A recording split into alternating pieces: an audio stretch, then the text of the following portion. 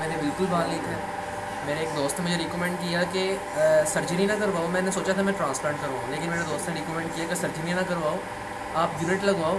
اشرفی plaza میں رضوان بھی بیٹھے ہوئے ہیں رضوان پوائنٹ وہ یونٹ لگواتے ہیں ویسے وہ ٹرانسپلانٹ بھی کرتے ہیں لیکن اس کا اتنا رشید احمد۔ رشید رشید احمد۔ تو ٹرانسپلانٹ کا رزلٹ اتنا نہیں کیونکہ وہ فورٹی پلس ایج کے لیے ہوتا ہے، وہ اس لیے کہ اگر ان کو تھوڑے بال بھی لگ جائیں تو وہ قابل قبول ہوتے ہیں۔ لیکن ہمارے جیسے لوگوں کے لیے جنہوں نے ہیئر اسٹائل بنانا ہوتا ہے یونٹ بہتر ہے۔ تو میرے بالکل بال نہیں تھا میں انہوں نے، میں یہاں پر آیا ہوں، یہاں پہ کافی ان کا بڑا سیٹ اپ ہے۔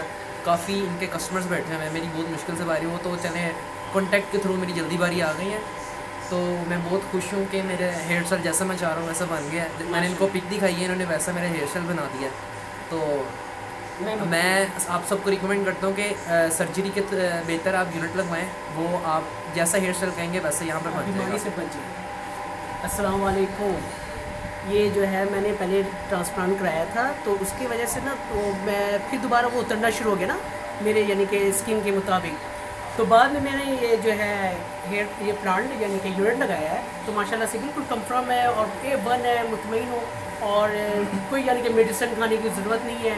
اور بیماری سے آپ بچ جاؤ گے اور یہ توسیع بھائی کے پاس آؤ ان شاء اللہ تعالیٰ آپ کو صحیح ریکمینڈ کریں گے اور بہترین رزلٹ آپ کو ملے گا یہاں سے۔ جیسے اس بھائی کو ملا۔ اوکے اللہ حافظ۔